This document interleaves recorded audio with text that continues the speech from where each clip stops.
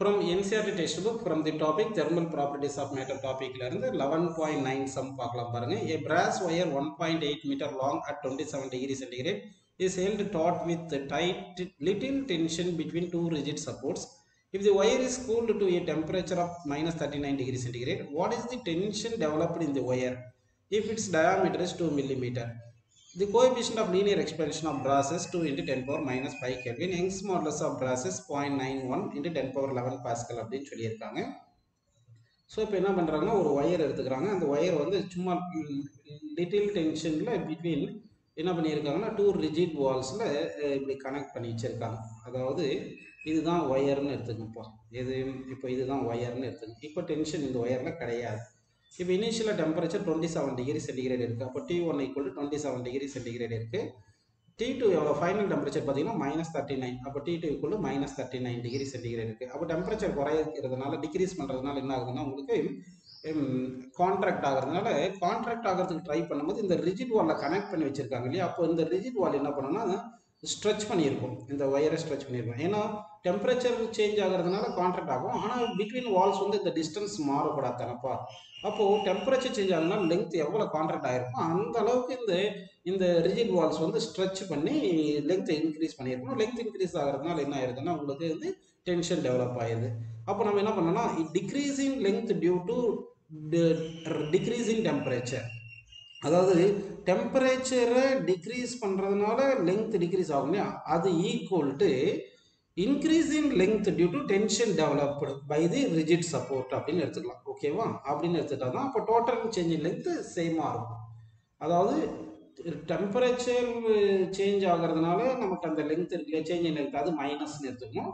Plus இது டெம்பரேச்சர்னால change ஆகிற லென்த் டிக்ரீஸ் ஆகிறதுனால மைனஸ் எடுத்துக்கணும். அப்புறம் ரிஜிட் வாலில் வந்து ஸ்ட்ரெச் பண்ணுறதுனால அது இன்க்ரீஸ் இன் லென்த் பாசிட்டிவ்னு எடுத்துக்கிட்டு இது இது வந்து டென்ஷனால் வருதுன்னு எடுத்துக்கிட்டு that is equal to zero total change in length zero அதனால தான் இப்போ இந்த மைனஸ்ன்றது அந்த பக்கம் போனால் இப்படி எழுதிட்டேன். அப்போ decrease in length due to decrease in temperature is equal to இந்த ரிஜிட் வால் ஸ்ட்ரெச் பண்ணுறதுனால வர லென்த் அப்படின்னு எடுத்துக்கிட்டோம் நம்ம.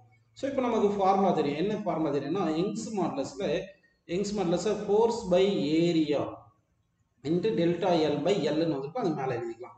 இதுதான் யங்ஸ் மாடலஸுக்கு ஃபார்முலா சரிங்களா? இதில் இருந்து டெல்டா எல்லுக்கு என்ன ஃபார்முலா வரும்? Delta L equal to Y A அதாவது டெல்டா எல் இங்கே லெஃப்ட் சைடு கொண்டு போயிருங்க.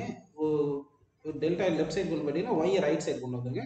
அப்போ டெல்டா எல் இஸ் ஈக்குவல் என்ன வந்துருது பாருங்கள் எஃப்எல் பை ஏஒய் அப்படின்னு வந்துருது. இது இது டியூ டு டென்ஷன்னால இன்க்ரீஸ் ஆன லென்த் அப்படின்னு போட்டுக்கணும். சரிங்களா?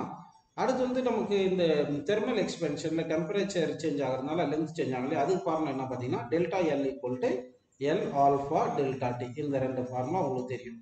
இது வந்து இது டெம்பரேச்சர் டிக்ரீஸ் பண்ணுறதுனால வர்றது. ஓகேவா ஸோ இந்த ரெண்டு வேல்யூ நம்ம கொண்டு போய் சப்ஸ்டிட் பண்ணலாம். எங்கள் டெம்பரேச்சர் டிக்ரீஸ் ஆகிறதுனா லென்த் டிக்ரீஸ் ஆனது எவ்வளோ? எல் ஆல்ஃபா டெல்டா டி அது எல் ஆல்ஃபா டெல்டா டின்னு போடுங்க. That is equal tension change ஆகிறதுனால அதாவது ரிஜிட் வால் ஸ்ட்ரெச் பண்ணுறதுனால டென்ஷனால் வர சேஞ்சிங் லென்த் வந்து எஃப்எல் பை ஏஒய்ன்னு போட்டுக்கலாம். ஓகேவா அப்படின்னு போட்டால் இந்த எல் எல் கேன்சல் ஆகிரும் இந்த ஏஒய் வந்து லெஃப்ட் சைடுக்கு இங்கே கொண்டு வந்துருங்க. அப்படின்னா இப்போ நமக்கு என்ன கேட்டிருக்காங்க? வாட் இஸ் டென்ஷன் தானே கேட்டிருக்காங்க. அப்படின்னா இந்த டென்ஷன் தான் இந்த force tension force F F is equal என்ன வந்துருது? இந்த ஏஒய் இந்த பக்கம் சின்ன ஏஒய் ஆல்ஃபா டெல்டா டி அப்படின்னு வந்துருச்சு. புரியுதுங்களா? அப்போ இந்த வேல்யூ எல்லாம் சப்ஸ்டிட் பண்ணணும் நம்ம. அப்போ ஏக்கு என்ன? பை ஆர் ஸ்கொயர் எழுதிக்கணும். Pi r square Y alpha delta டின்னு போடணும். பை வந்து உங்களுக்கு டுவெண்ட்டி டூ பை செவன் தெரியும். ஆர் வந்து எவ்வளோ பார்த்தீங்கன்னா டயாமீட்டர் டூ மில்லிமீட்டர் கொடுத்துருக்காங்க.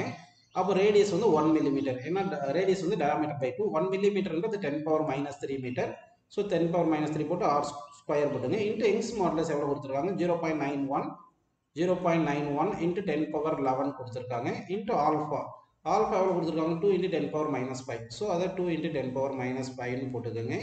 Into delta T delta T என்ன பண்ணும்? இங்கே இருக்கிற டெல்டா டி அதாவது twenty seven minus thirty nine அதாவது மேக்னிடியூட்டில் நம்ம எழுதிக்கலாம். அப்போ அப்போ என்ன பண்ணலாம்னா மேக்னிடியூட்டில் எழுதும் போது final temperature minus thirty nine initial temperature minus twenty seven போட்டுக்கிறோம். ஆனால் இது வந்து மல்டிப்ளை பண்ணும்போது பாசிட்டிவ்லேயே பாசிட்டிவ்லேயே நீங்கள் எடுத்துக்கோங்க. ஏன்னா மாடலஸ் வேல்யூ நம்ம எடுத்துக்கலாம். ஓகேங்களா ஸோ இது எல்லாமே இது மல்டிப்ளை பண்ணணும்ப்பா ஸோ இது எல்லாமே சிம்ப்ளை பண்ணணும். அப்போ twenty two by seven into இங்கே டென் பவர் மைனஸ் சிக்ஸ்னு வந்துருமா? Into point nine one into ten power eleven into two into ten power minus five கரெக்டுங்களா இப்போ இது இது ரெண்டுத்தையும் வந்து நம்ம ஆட் பண்ணிக்கலாம். ஏன்னா சேம் சைனாக இருக்குது சைன் போட்டு அப்புறம் ப்ளஸில் போட்டுக்கோங்க. சரிங்களா? மேக்னிடியூடு வேல்யூ மட்டும் எடுத்துக்கிற மாதிரி.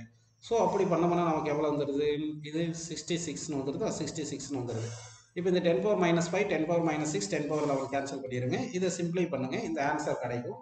எவ்வளோ கிடைக்கும்? அதை சிம்ப்ளை பண்ணி பார்த்தோம்னா நமக்கு வந்து nearly three point seven seven nine into ten power minus டூன்னு கிடைக்கும். இதை ரவுண்ட் ஆஃப் பண்ணி எழுதும்போது three point eight into ten power minus two sorry ப்ளஸில் வரும்பா. ப்ளஸில் வரும். Three point eight into ten power two newton அப்படின்னு வந்துடும் ஓகேங்களா ஸோ அப்போ எவ்வளோ tension force developed in uh, this ஒயர்னு பார்த்தீங்கன்னா three point eight into ten power two newton அப்படின்னு நமக்கு கிடச்சிடும்